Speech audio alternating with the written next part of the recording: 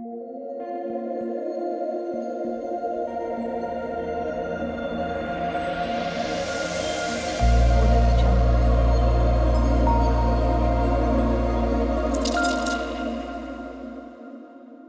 आपने अगर हमारा चैनल अभी तक सब्सक्राइब नहीं किया है तो प्लीज़ प्लीज़ सब्सक्राइब कर ले और बगल वाले घंटे को भी दबा दें, क्योंकि हम लाते रहते हैं नए नए बिज़नेस आइडियाज़ और नई नई जानकारी केवल आपके लिए।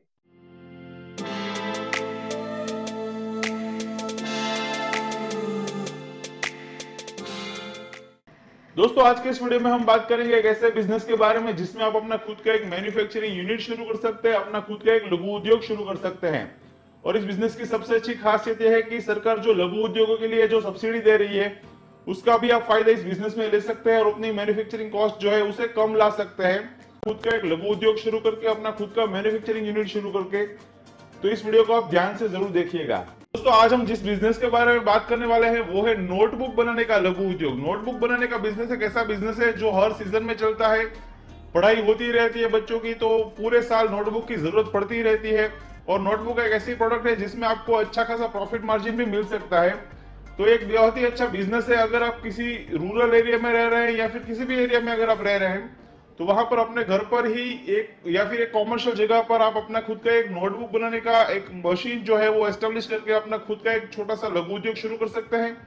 और हर एक नोटबुक को एक अच्छे खासे मार्जिन पर आप होलसेल या फिर रिटेल में भी बेच सकते हैं अपने अपने एरिया के अंदर। और ये बिज़नेस जो है, उसमें कभी भी मंदी नहीं आने वाली, क्योंकि पढ़ाई जो है वो बच्चों की हमेशा चलने वाली है। तो इस बिज़नेस में कभी भी आपको मंदी का टेंशन नहीं रहने वाला है। तो सबसे पहले देख लेते हैं कि किस तरह की मशीनरी से नोटबुक आप आसानी से अपने ही जगह पर अपने ही घर पर बना सकते हैं। तकरीबन हम एक नोटबुक पर तक, आ, कम से कम दो या तीन रुपए कमा सकते हैं। अगर इसे हम होलसेल में बेचते हैं रिटेलर्स को या फिर हम दूसरे तरीके से भी इसमें ज़्यादा कमा सकते हैं जैसे कि बड़ी बड़ी स्कूल्स है बड़े बड़े ट्यूशन क्लासेस होते हैं। वहाँ पर भी आजकल एक नया ट्रेंड चल रहा है कि वो लोग उसका जो फ्रंट पेज होता है उस, उसका स्कूल का लोगो छपा हुआ होता है ऐसे ही नोटबुक उनको देते हैं। तो अगर आप स्कूल्स को या फिर बड़े बड़े ट्यूशन क्लासेस को अगर आप जाके उसके साथ कोलोबरेट करोगे तो उसमें आपको और भी ज़्यादा मुनाफा हो सकता है, क्योंकि उसमें आप ज़्यादा रेट पर नोटबुक्स को बेच पाओगे, क्योंकि उसकी जो नोटबुक होगी वो कस्टम होगी। तो उसके ऑर्डर्स आप ले सकते हैं और उसमें आप ज़्यादा से ज़्यादा जो है वो प्रॉफिट मार्जिन कमा सकते हैं। दूसरे भी बहुत सारे रास्ते हैं जिसमें आप अपनी खुद की एक मार्केटिंग टीम को एस्टेब्लिश करके अपना बिज़नेस जो है, उसे ज़्यादा से ज़्यादा बड़ा कर सकते हैं। अगर आप चाहे तो आप अपनी खुद की एक ब्रांडिंग भी कर सकते हैं, अपना खुद का एक ब्रांड नेम क्रिएट कर सकते हैं। जैसे कि नव, नवनीत है, गाला है वगैरह जैसा ही आप अपना खुद का एक ब्रांड नेम क्रिएट कर सकते हैं और मार्केट में अच्छे रेट पर अपनी नोटबुक्स को आप बेच सकते हैं। अगर आप हमारे चैनल को पहली बार देख रहे हैं तो हमारे चैनल को सब्सक्राइब कर लीजिए और बेल आइकन को भी दबा लीजिए। इससे हमारे चैनल पर जो भी वीडियो अपलोड किए जाएँगे, उसकी सूचना आपको मिल जाएगी।